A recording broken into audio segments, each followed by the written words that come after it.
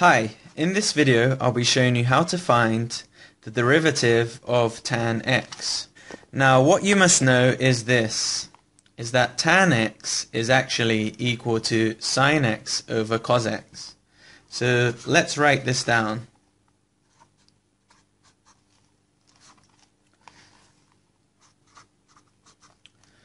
So because tan x is equal to sine x over cos x, y is equal to sine x over cos x.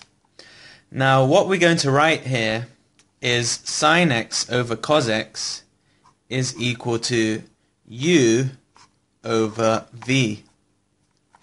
Now we should know that if y is u over v, dy over dx is equal to v multiplied by du over dx minus u multiplied by dv over dx over v squared.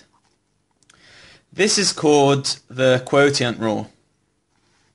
So, we've got u is equal to sine x. Therefore, du over dx is equal to cos x. And we've also got v is equal to cos x. Therefore, dv over dx is equal to minus sine x. And uh, what you also have to remember is that v squared is equal to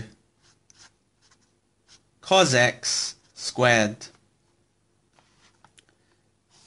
So, we should have dy over dx equal to v, which is cos x, times du over dx, which is cos x,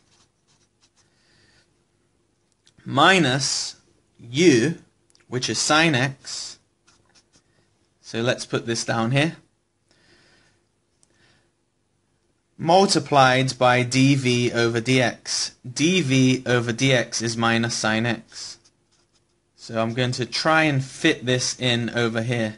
This is minus sine x over here in the corner. Now v squared is cos x squared. Right? So dy over dx is cos x squared minus sine x multiplied by minus sine x over cos x squared. So this is equal to cos x squared plus sine x squared over cos x squared. But cos x squared plus sine x squared is actually equal to 1. So we have 1 over cos x squared. And this is actually equal to sec x squared. Right? So we know that if y is equal to tan x, dy over dx is equal to sec x squared.